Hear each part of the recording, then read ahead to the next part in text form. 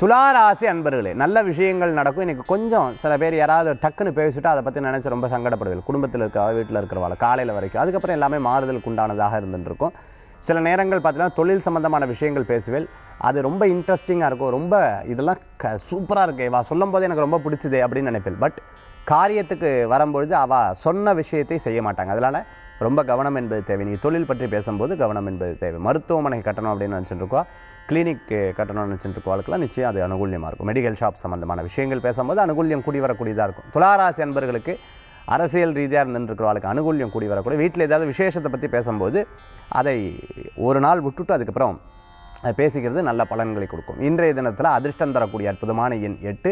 நிறம் கருநீலம் வழிபாட்டுக்குண்டான தெய்வ நரசிங்கர் வழிபாடு வெற்றி வழிபாடு.